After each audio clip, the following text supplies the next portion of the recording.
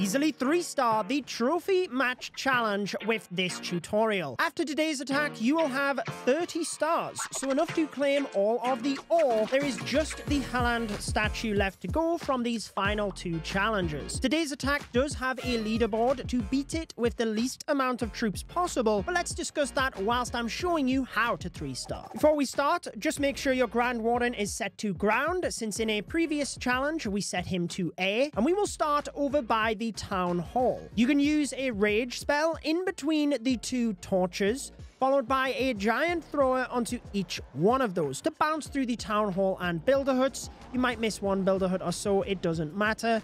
Use a wall break to the left of those, then use a Barbarian Kicker at 6 o'clock for the Air Defense or Tesla, one on the Football for the Cannon, and one on the Barb statue for the left Air Defense.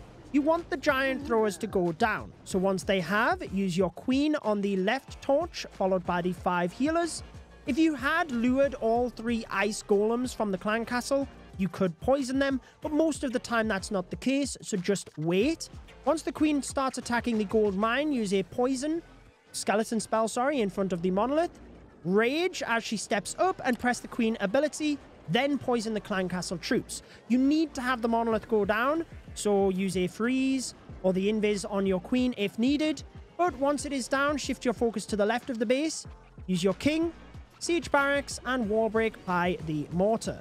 Next section you need to do fast, so use two fingers if possible. Spread the miners across this entire side. Grand Warden, Hog Riders, Apprentice Warden, and Royal Champion. Then just use your Warden ability and the Rage spell. This will power through this bottom section. King ability, freeze the single target Inferno, and as they move out of this section, heal over the middle because the Warden ability will be expiring.